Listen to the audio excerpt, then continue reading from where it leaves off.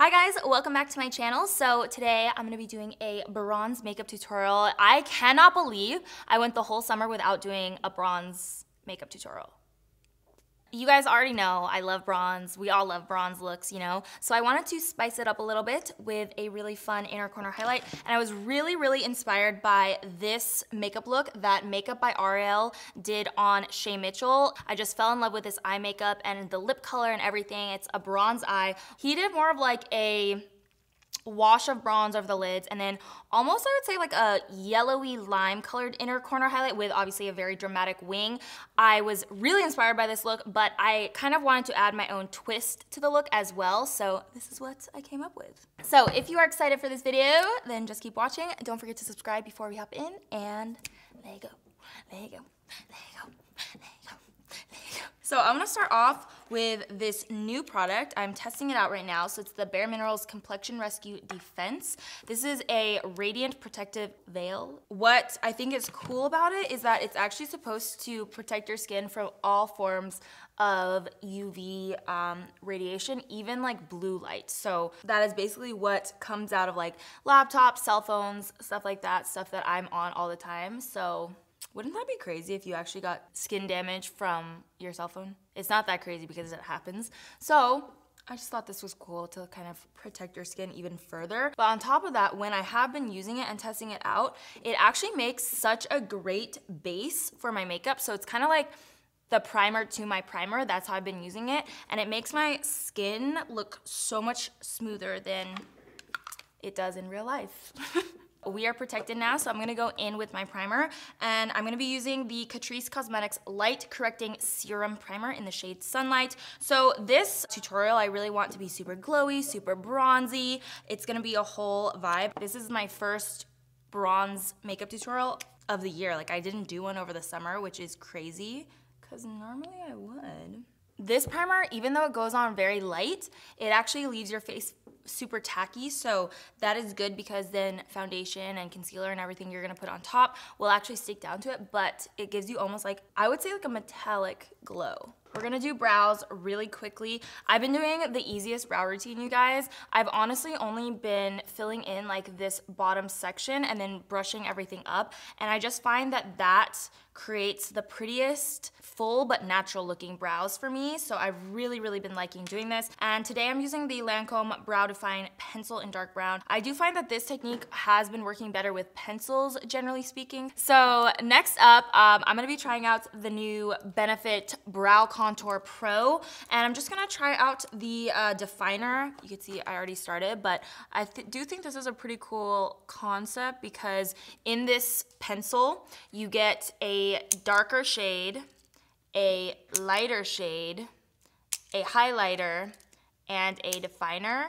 And it's pretty cool because it's like the pens that we had when we were kids, you know, that kind of, you could get different colors. And I'm gonna use that to really define the brow bone. I'm just gonna blend that out with a little toothbrush brush. Ooh, look at that line. You always want to go in with brow gel as well. So this is actually my favorite one, the 24 hour brow setter from Benefit. I love the wand. It's very thin and the bristles are really easy to like lock onto your hairs and just brush them up, but it doesn't add fibers or thickness. That's something that I don't really like in my brow gels. All right, so next up, I'm gonna use the Iconic London Prep Set and Glow. This is another product actually that I've been testing out. I feel like I have a lot of new products or products that I've been testing out in this tutorial just because I've been trying a lot of new products lately. So this is one of them, like I said, and I'm gonna use this actually to prep the skin underneath the foundation. It leaves you with a really nice like radiant glow and I feel like it does definitely make a difference in the finished look because you have that glow underneath as your base. It really takes a while to dry though, not gonna lie. Wow, my skin is like terrible these days. Actually, it was getting a lot better, but you know what the problem was? I picked at it and somebody once told me that when you pick at your skin, bacteria actually transfers through like your veins and will go to other parts of your face causing more breakouts.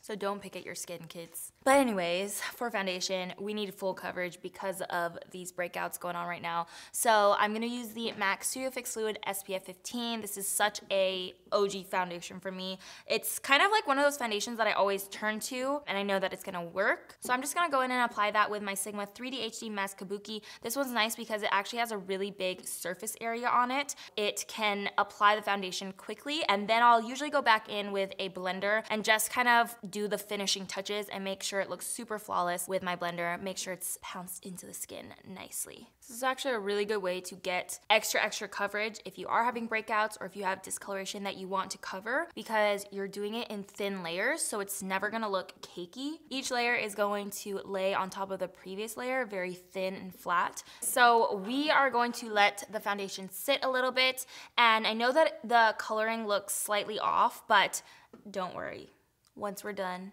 it's gonna look good to go. And I do feel like this foundation does oxidize a little bit in the sense of it somehow, like whenever I apply it, I know that it looks a little crazy and then it tends to like neutralize out. So don't come for me. Don't at me for this discoloration right now. So I'm gonna go ahead and prime my eyelids with the MAC Soft Ochre Paint Pot. And I'm just going to make a thin layer. And you just wanna set that down with a face powder. So this has been one of my favorite eyeshadow palettes lately, especially for bronze looks. You can see why. Warm, toasty, bronze, really, really pretty palette. Great formulas too. So this is from Melt Cosmetics and it's the 27 palette. So I today don't want it to be too warm, I don't think. I'm gonna start off with the shade Naked Sleep, first off. It is on the warm side, but it's a little bit more neutral, I would say. So I'm gonna start off with that in the crease on a Sigma Diffuse Crease E38. Ugh, this is like my perfect transition shade. It is so, so pretty. If you just like to do like warm tones or bronze looks in general, it's such a nice palette. Mm. So in the picture, Shay's makeup is a little bit more just like a wash of bronze. I'm gonna do my own little twist and do slightly more of a defined look, but definitely still this vibe because I really, really liked this, that makeup look. It was so pretty when I saw it. Like, you know when you have to do a double take, you're like scrolling and scrolling and scrolling and then you're like, whoa, Hold up. Next up, I'm gonna take this shade right here that's called Thick and place that into the crease on a slightly smaller brush. So this is the Sigma Blending E25. You can see it has a really, really thin, precise shape to the bristles. So this is gonna give us that precision that we need to get a defined crease going. This is actually one of my favorite brushes to use for this step because it just gets the crease going really, really nicely and then you can go in and blend it out afterwards if you need it to be slightly more diffuse. But just packing on that color is really important because it's easier to diffuse it out afterwards rather than have to continue to work and work and work to get it on there. Then I'm taking that E38 that we used before and just kind of pressing the pigment up to diffuse that line. Then you actually also want to take a deep brown on the exact same brush. And I'm using the Soft Glam palette for this step, the Cyprus Umber shade right here, but you could use any deep brown that you have on hand, honestly. Because you're just gonna do the exact same thing and deepen up this outer corner and use the point of the brush to again create that almost cut crease shape. I'm telling you, this brush is bomb. Since we've already kind of diffused the other color up, it starts to create a beautiful gradient and it's super easy to do. I think I am gonna go in with a little bit of that soft ochre paint pot and just define the bottom section a little bit more. I actually didn't know like exactly where I was gonna take this look. I just knew that I wanted it to be inspired by the work that Makeup by Ariel did. So we're going a little bit of a different direction. So I'm taking soft ochre on a flat brush. This is the concealer F75 from Sigma and I'm just gonna create a more defined cut crease. I know this is really bad to do, but sometimes I need to flatten out my eyelid in order to get that crease. And boom, we got a defined crease going on. Now, I wanna go in with a really pigmented and buttery gold shade. And again, um, you can use anything that you have on hand. For me, this is what I'm going to be using. It's one of my favorite golds to use. So it's from Dose of Colors and it's their Block Party eyeshadow and it is in the shade Heart of Gold.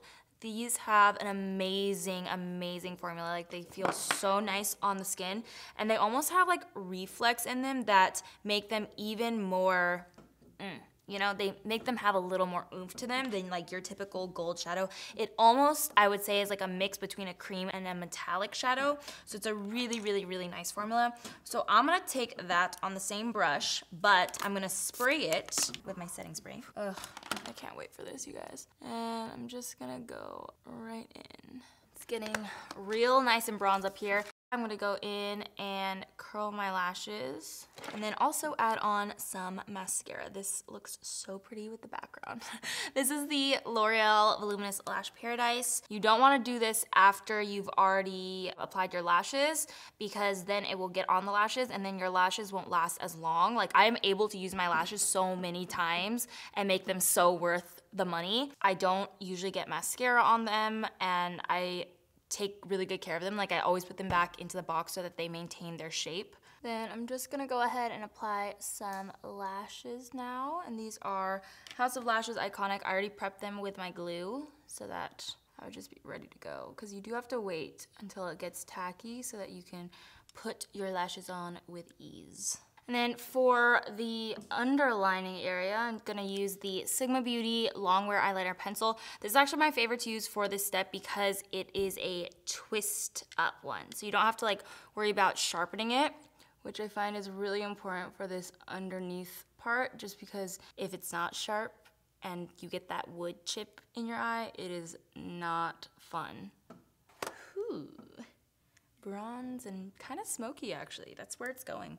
Okay, so we are kind of done with the upper eye area. I'm gonna move back to the face, finish that off, and then we'll almost be done. So I'm gonna go in and brighten up my under eye area with the Becca Cosmetics under eye brightener. You just wanna do a thin layer right where those divots are, if you have those like I do. This has still been my favorite brightening product just because it's a little thicker than most of the others that I've tried. So it really does kind of like fill in that area and almost work to flatten things out while color correcting. Okay, so for concealer, I'm using the NARS Natural Radiant Creamy Concealer. One of my all-time faves. I'm just gonna go down the middle of the face. You guys know concealer by now. Then I'm gonna go in and set the under eyes with my Lancome um, Long Time No Shine Loose Setting and Mattifying Powder and I'm actually going to apply it with the little puff. I went to a master class with Laura Mercier and Makeup by Mario, and he did this actually. He was baking with a puff. So we're gonna try it out today. It looked really pretty when he did it. And I have never done this before because I always usually use a sponge. So this will be interesting to see if this works for me. I feel like it definitely packs on that powder nicely. So I used that matte setting powder underneath the eyes, but for the rest of the face, Mario actually used a new product from Laura Mercier. So this is the Translucent Loose Setting Powder Glow. So it actually has some radiance in it. So I'm actually gonna try it out again in this video and use the same method, a little puff here. And this one, he was kind of like rolling into the cheeks or actually the face in general. So he did not recommend using it underneath the eye, so that's why I went in with something that was matte under there. You just wanna wipe all of that away. See what I was saying? It neutralizes out. We're good. We're Gucci. So we're gonna add some bronze, add some warmth back into the face. Whoop. Mm. This is from Ofra Cosmetics and it's called the On The Glow palette. So I'm gonna take this guy up here, which is their Americano bronzer. That's the shade name. And I'm gonna use that to warm up the face. Ooh, that has a really nice undertone to it. I love the effect of that Laura Mercier powder because it already gave us like this almost like all over sheen to the skin, even though it's set. I'm just gonna add on some contour to the nose using my face powder from MAC. This is the Studio Fix in NC43. The best way to add contour to your nose because it just looks so natural. All natural, baby. We are actually gonna add on a little bit more glow because I want to feel like a bronzed goddess after this look, okay? That's what I'm going for. So I'm gonna be using the Gold Deposit Mineralized Skin Finish. This is actually a highlighter, but it's a very light highlighter because it is a mineral product. We're gonna take that on a super fluffy brush. You wanna use a brush that has this kind of bristle movement to it, just super fluffy, super flexible. This is the MAC 137S, and I'm gonna lightly dust over the product, and then go in and dust over the areas that we put our bronzer down.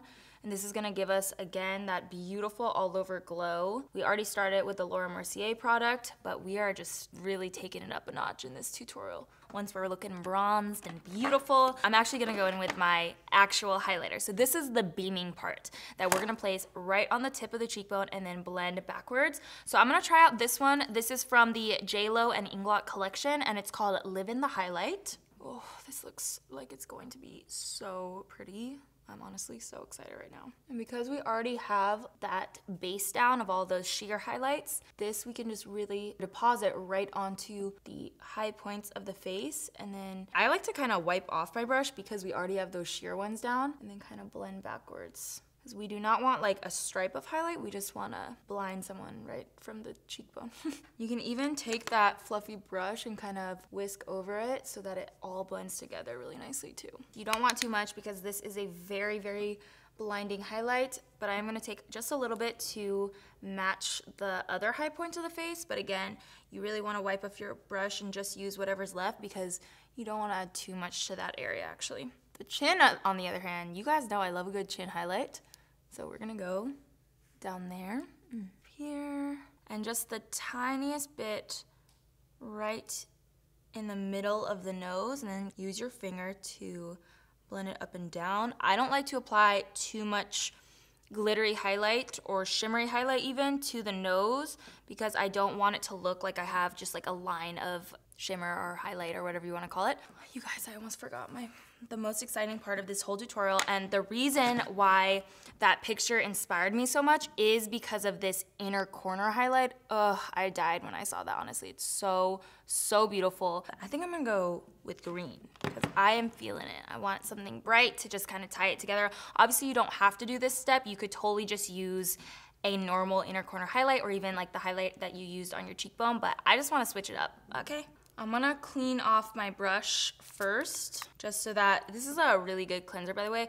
I uh, put it into like a, just a travel size, but it's the Cinema Secrets Instant Brush Cleaner, I believe it's called. I'll link it down below for you guys with all the other products because it's a really good one if you are on sets or if you're a working makeup artist to just be able to clean off your brushes super quick or if you just like to play with a lot of different colors and you don't want the colors to mix together really really good product because look how clean it is now okay let's dig into my little bag of pigments i'm so excited for this i'm debating between these three pigments i definitely want a green tone this one is old gold and then i have chartreuse and golden olive Maybe I'll mix together these two because I want it to be like neon green.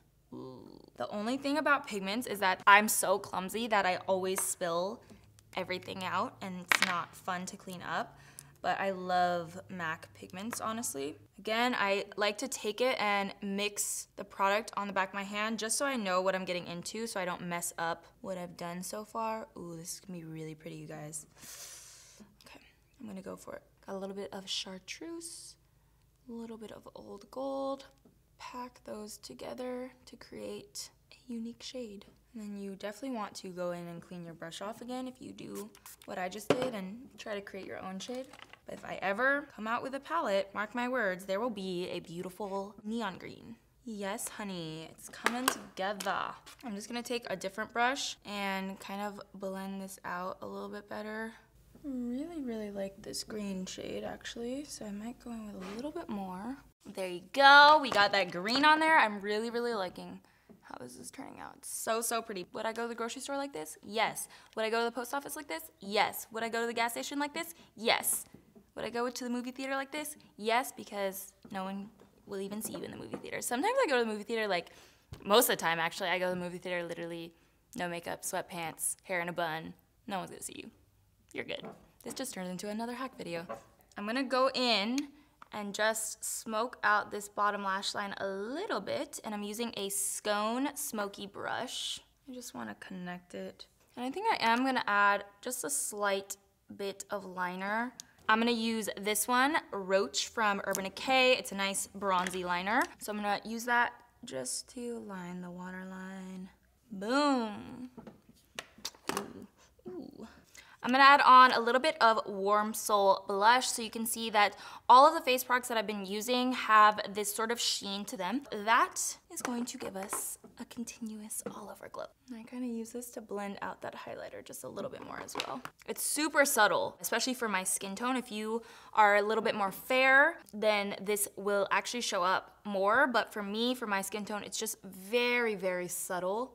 Moving on to the lips. For lip liner, I'm using my teeny weeny MAC lip pencil in Stripped Down. This is my favorite lip pencil, as you can tell. It's really, really nice for any nude, honestly. You know I love those brown nudes, so this is like the perfect brown lip liner. Then for my lipstick, I'm gonna be using the Makeup Shayla and ColourPop collaboration Quickie lipstick. It's a really, really nice nude. Has a bit more of a peachy undertone, but it pairs so nicely with Stripped Down, honestly. You can kind of use it to like blend out the lip liner too. And then we have to add a gloss on to really get that glow going. So this is another product from the JLo and Inglot collection. It's the gloss in Goldie Lips. That is so pretty. And last step, Urban Decay All Nighter. I've been obsessed with this stuff. Really does make your makeup last all day long. It's like insane. Alrighty guys, so this is our finished look. Hopefully you guys like this tutorial. I had a lot of fun with it. Even though it is a bronze look, I feel like you can still get kind of creative with bronze looks and honestly, I live for this inner corner highlight. So make sure to give this video a thumbs up if you liked it. Comment down below if you have any requests um, or maybe even other celebrity inspired looks. Anything you guys wanna see, comment down below and make sure to hit that subscribe button if you do wanna be subscribed to my videos and I will see you in my next one. Bye. Oh, we're rolling. Eh. Getting Frenchy schmunchy over here. I think this is um, the best I've ever looked. So, oh, then I'm gonna use this, wow. I'm good, I'm good, I'm good, I'm good, I'm good.